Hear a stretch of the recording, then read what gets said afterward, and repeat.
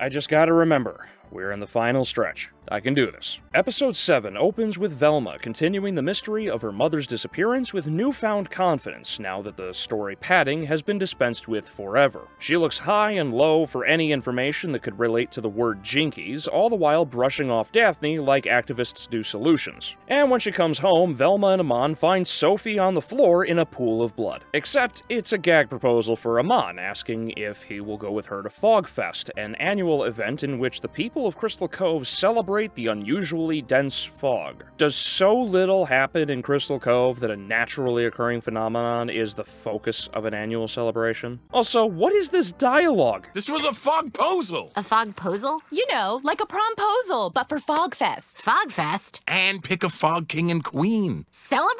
It's a word meaning. Are you having a stroke? No, I know what fogposals and Fogfest are. This isn't a conversation between characters. This is the writers telling us what the event is because they think we're too stupid to figure things out on our own. Remember, this is Mindy and her writing team, and between them all, there isn't enough brain matter to occupy the skull of a goldfish. This is why the event is allowed to happen, despite the killer having not been caught yet. And in a rare moment, I agree with Velma, wondering why the fuck Fog Festival will proceed until Aman whips out a newspaper showing Blythe went to the local paper about this and everyone just believes her. God damn it. Well, later that night at the Jones mansion, Freddy is practicing his acceptance speech in front of his parents. It is only when he mentions Velma will be his fog queen that his parents give him an ultimatum. This is what bothers me so much about Velma. It taps into decency every now and then, but consistently overcorrects out of control like a speeding boat. That next day, Olive complains about Norville to Gigi about ignoring her and the ghost, and Velma arrives to say there is no ghost. Now, wait a fucking second. I get some gags require characters to have single digit IQs, which is becoming more and more common in real life now. However, it is one thing for someone to be the butt of a joke. It is entirely another when the self insert character becomes the smartest in the entire town because the writing team makes the rest of the populace dumber than Cletus Spuckler. Anyway, Norville scares the girls, asks Gigi out to Fogfest, and she agrees. In Norville's office, Velma scolds the idiot for going to Fogfest with a killer on the loose, but she ain't getting through to him because remember, he called her when she was sneaking into the Jones mansion out of boredom. Norville then suggests she should go as well to blow off steam, and after days or weeks of ignoring the person she loves, Velma finally sits down with Daphne. Trying to ask her out doesn't go well immediately, and is thus interrupted by Freddy, who's throwing wads of cash at Daphne to convince her to go to Fogfest festival with him. And out of spite, Daphne says yes. You can really tell the writers don't know how to court a woman properly. You don't throw money at them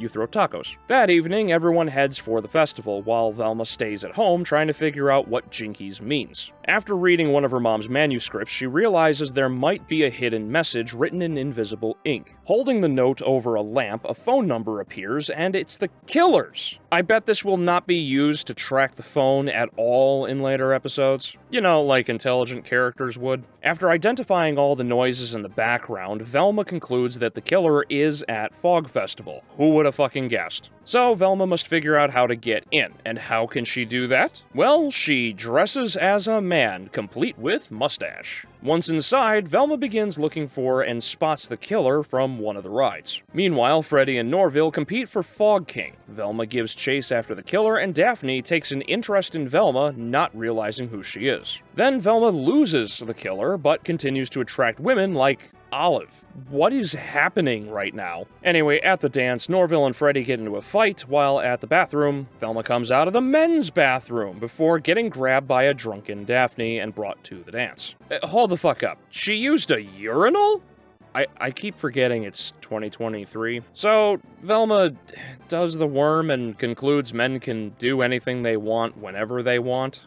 Yeah, okay. So, Velma goes on stage and convinces everyone the killer is still on the loose and isn't a ghost before we are treated to a bullshit montage about as accurate as MSNBC's reporting. After being named Fog King, Daphne takes Velma outside, still believing her to be Manny, and discusses how depressed she is that Velma has been ignoring her for weeks weeks after major revelations about her past. The two reconnect for a brief moment before Freddy interrupts and reveals Manny is actually Velma, which angers Daphne, who then storms off. Back in the dance tent, Freddy reveals Manny is Velma to the crowd and convinces everyone to make him Fog King. And they just go with this because the people of Crystal Cove switch allegiances faster than the mayor of Okie Oaks. Then it is revealed Norville was already given the crown as he walks in with a kid he rescued from the water, that he threw in in the first place. And he notices Gigi is missing. Down under the pier, Velma goes to talk with Daphne, asking for her forgiveness for blowing her off for weeks. Why are we already retreading what Norville did? What the hell? That is until the killer interrupts the two girls and they run off. Meanwhile, Freddy steals the crown from Norville, and then a scene that threw me so hard for a loop I had to physically reset myself. Both Norville chasing Freddy and the killer after the girls is supported by the classic Scooby-Doo chase theme and even footstep sound effects. Velma parodies two consistent jokes from Scooby-Doo, the goofy door teleporting and the costume switching during a chase, and one of them is played totally straight and falls flat on its face, while the other kinda comes close to actually being funny. An old-timey photo booth. We can disguise ourselves. Daphne, that's stupid.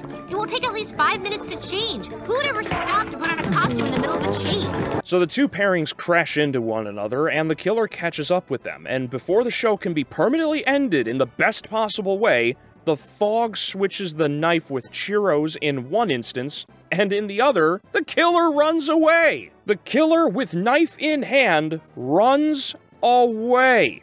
And for some reason, left the fucking phone behind. And before you can make sense of it, the cast goes home, because everything is hunky dory. But Freddy in the Hall of Mirrors is taken by the killer. I get very sick and tired of the threats in shows, movies, etc. being played off as a joke. Stories like One Punch Man subvert that perfectly because there are many more layers to it, or anytime Bugs Bunny lampoons Elmer Fudd, which is totally fine because that's the gag. But Velma has zero reason to play around with a killer like this. It's the same thing that Ant-Man 3 did with MODOK and Kang by first introducing these major villains from the comics and reducing them to the threat level of Chucky in broad daylight on concrete. I thought we were done with plot conveniences. Why can the fog inexplicably teleport people and objects like this is the Lost Woods? Oh, but the fog was set up early in the episode, so your argument is invalid. That's bullshit, and you know it. The show has played everything straight until this point. There is no magic, or ghost, or anything extraordinary in the magical sense. The fog is plot armor and nothing more. If anything, it reveals the inconsistency of character. You know that old line, consistency is key? The same goes for characters. The killer knows Velma is trying to solve the mystery, so eliminating her should be the highest priority. Instead, the killer runs away at the cusp of victory, leaves a piece of key evidence behind, and then goes after Freddy. If I can't trust the killer to at least be consistent, then there is nothing left to try and invest me in or anyone else. Not that I was invested in the first place, I'm simply pointing out the show does not have any straws to grasp at even for the most optimistic viewer. And with that, I'd like to round back to the biggest problem with this show the humor. This is something that frustrates me about Velma, because some of these jokes actually come close to being funny. Oh no. I have to apologize. She kicked me so hard my tubes are now tied. Yes, but you hurt her feelings, which is way worse these days. Norville, stop! Going through doors like this isn't physically possible. Oh god, you're right! My entire perception of reality is crumbling!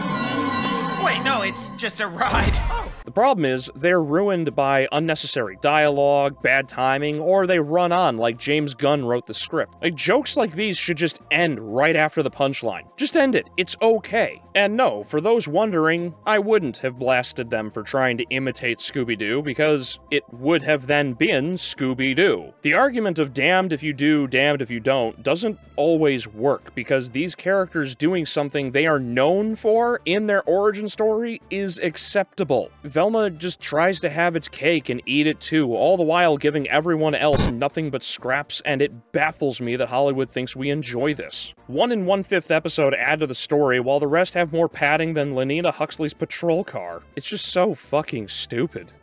Anyway, thanks for watching, and I'll see you in the next video.